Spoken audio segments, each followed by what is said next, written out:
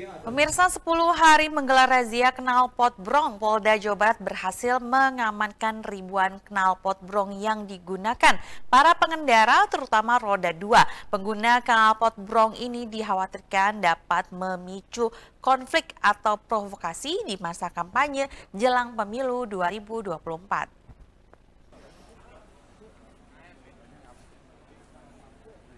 Inilah ribuan knalpot brong yang berhasil diamankan petugas Direktorat Lalu Lintas Polda Jabar dalam kurun waktu 10 hari melakukan razia knalpot brong di sejumlah daerah di Jawa Barat.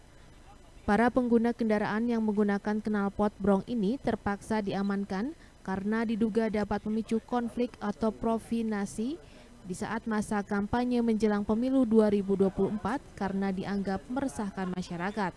Tidak hanya menjelang pemilu, razia knalpot brong ini akan terus dilakukan petugas di Telantas Polda Jabar guna menciptakan ketenangan di tengah masyarakat.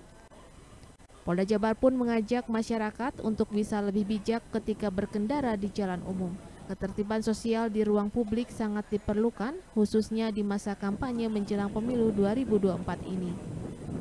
Dari hasil pelaksanaan analisa dan evaluasi, ternyata penggunaan knalpot brong ini sangat berkorelasi dengan gangguan kamtipmas yang lain.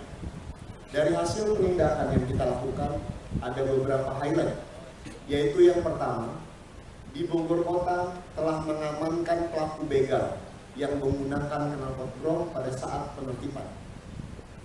Diamankan dari yang bersangkutan sebuah sajam. Kemudian di Polres Kuningan dan Polres Majalengka telah mengamankan beberapa orang pelajar yang membawa senjata tajam yang ternyata akan dipergunakan untuk tawuran.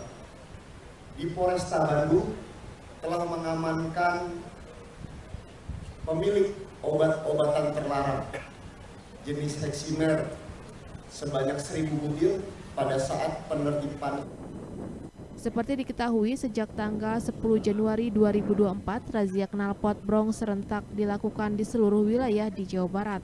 Razia knalpot brong ini dilakukan guna menciptakan kondusivitas di Jawa Barat menjelang pemilu 2024. Yuwana Kurniawan, Bandung TV.